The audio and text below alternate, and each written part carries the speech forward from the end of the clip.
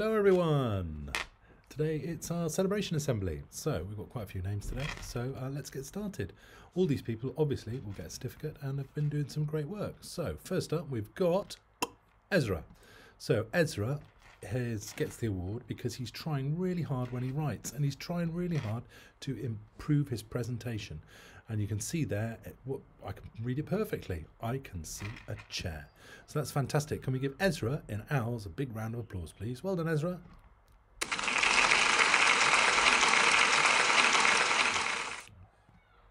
Next up, we've got Eva. Um, and she's been doing some fantastic writing as well. Um, she gets hers for writing this independent morning sentence I can see a chair. She segmented the word and wrote down the phoneme she heard. She's made amazing progress in her writing since she started in reception. So that's fantastic. Can we give Eva in Blackbirds a big round of applause, please? Well done.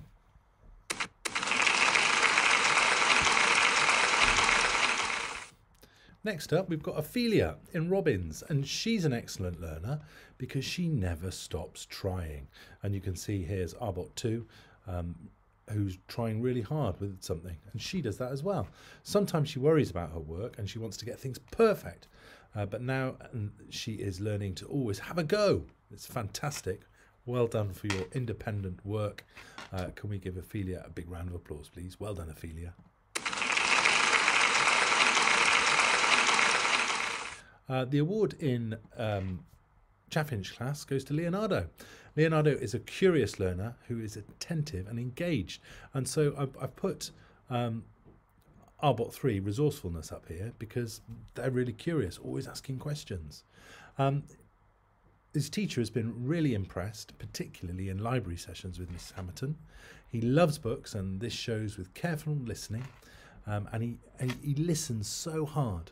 Uh, Leonardo's got a love of non-fiction, and it's clearly helping him with his writing as well. And he uses his knowledge in his work, so that's fantastic. Well done for showing such curiosity. Can we give Leonardo a big round of applause, please? Well done, Leonardo.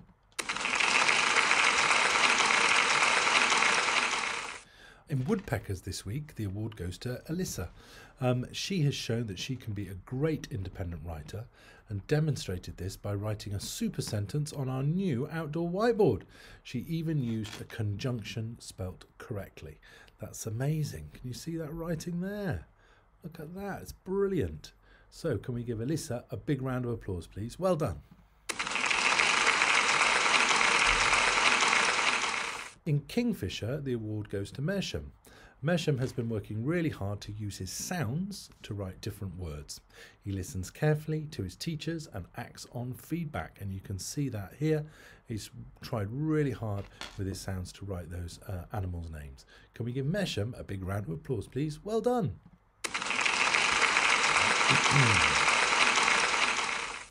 In a Mallard's class, the award goes to Cassius, and I know Cassius has had one recently, but this is from his different teacher, so this is from Mrs. Tesdale.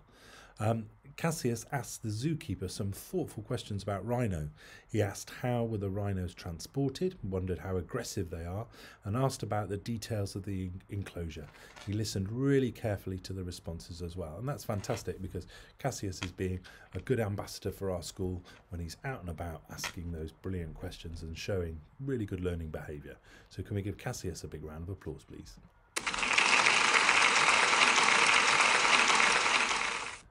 In Puffin's class this week, the award goes to David. Um, and David, um, he gets it for resilience because he's trying really hard to read five times a week. Um, and that shows great resilience and determination. And what you're doing as well, David, is you're developing a habit. Um, and by doing something all the time, you develop that habit. Um, he's David has a real interest in books, and he's made making great progress with his reading. So, can we give David a big round of applause, please? Well done, David. Next up is Grace.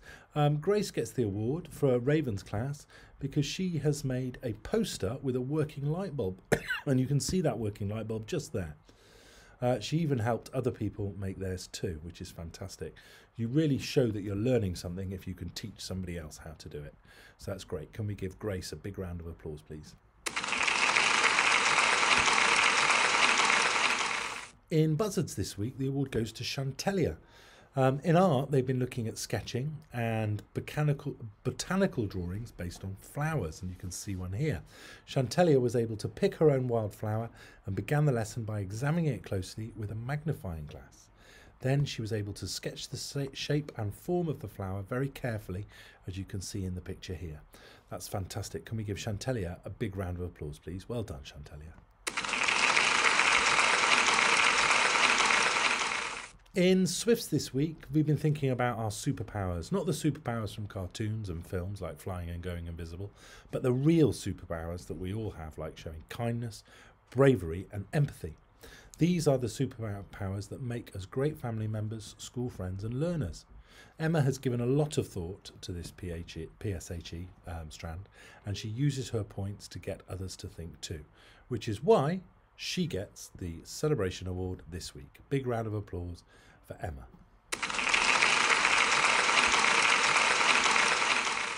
In Doves this week, the award goes to Jackson. His independence in his writing has improved fantastically since he's joined Dove's class.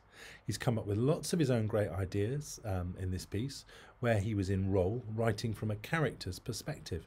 He's shown excellence, in particular in this piece of learning, uh, and Miss Shaw was very impressed with your effort. Well done, Jackson. Can we give him a big round of applause, please?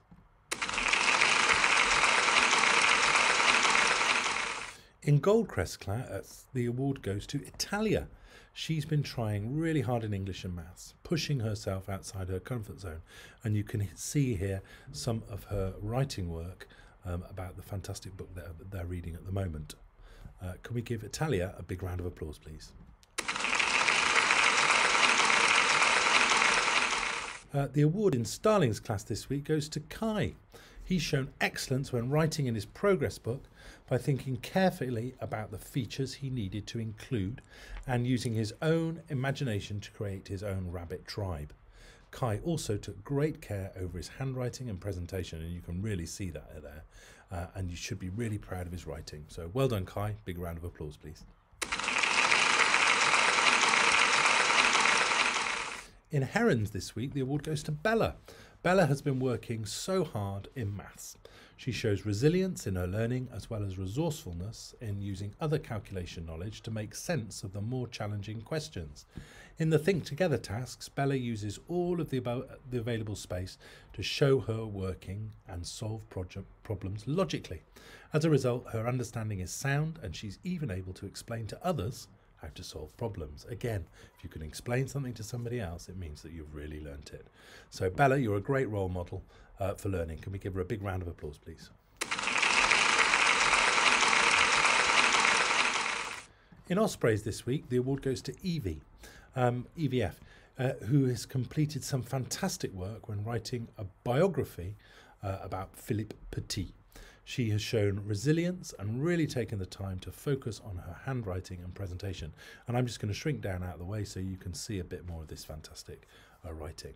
That's amazing, Evie. Keep up the good work. Big round of applause, please.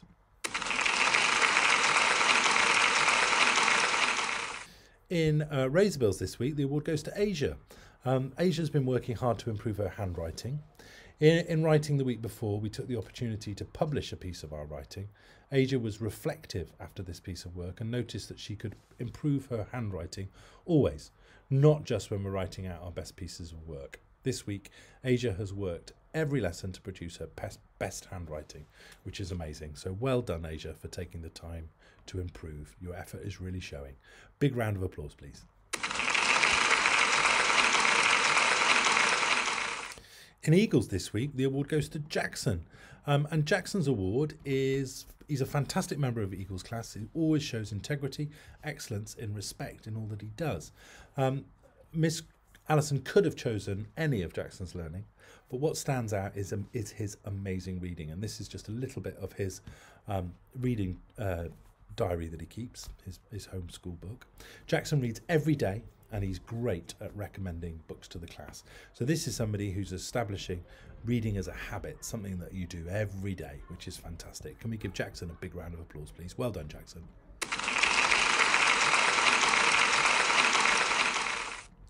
Okay, and next up, and this is our last one today, we're just going to move out of the way a bit, is for Harlow.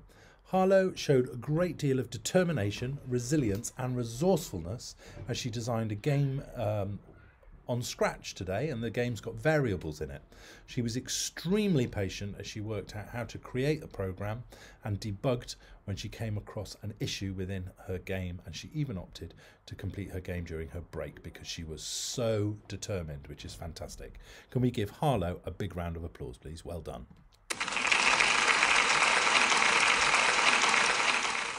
Uh, and that's it for this week, and that's it for this term. So hopefully next term will um, it could be you up here. So that's great. So well done everybody for all your hard work. It's been a really nice term. You've been fantastic, um, and uh, I look forward to giving out um, doing more of these assemblies next term, and hopefully I'll get some more names from teachers. So fantastic. See you all soon. Take lots of care. Bye.